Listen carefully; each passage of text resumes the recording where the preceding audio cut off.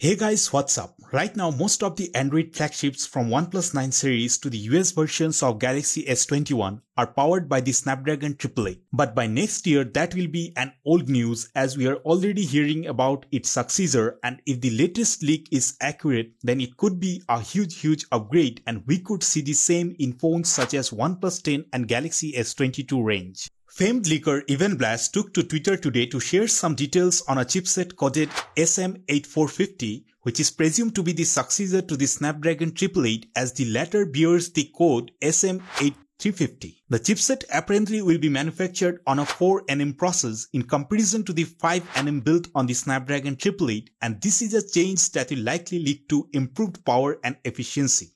But that is hardly surprising What's more interesting is that it apparently has an Adreno 730 GPU that is up from an Adreno 660 GPU in the Snapdragon 888 but to put the number in context, last year's flagship chipset, the Snapdragon 865, had an Adreno 650 GPU, so that was only a 10 number jump, while this one is supposedly a leap of 70 number, perhaps it is the highest one could expect. Now frankly, these numbers don't always mean much, but as Phone Arena points out, the last similar jump in numbers was found only on the Snapdragon 845 several years ago and that did offer a significant performance boost if you remember rightly. But if you think it ends here, sorry to say but it doesn't. There is a great news for smartphone photographers as a new Spectra 680 ISP that is image signal processor will replace the Spectra 580 in the Snapdragon 888.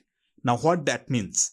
Well, the Spectra 580 was Qualcomm's first Spectra with a triple ISP enabling triple concurrency. Triple concurrency enables users to capture video from three different cameras at the exact same time, all in 4K HDR quality, along with providing smoother transitioning when zooming between cameras. Now, if we were to guess, the Spectra 680 on this new chipset could enable quadruple concurrency depending on how fast its processing speed is. So I leave the rest of it to your imagination to just wonder about the picture quality we're about to get. Lastly, the chipset will integrate Qualcomm Snapdragon's X65 5G modem RF system or in simple terms, the SoC can support connecting to mmWave or sub 6 GHz 5G frequencies on either non-standalone or standalone 5G networks.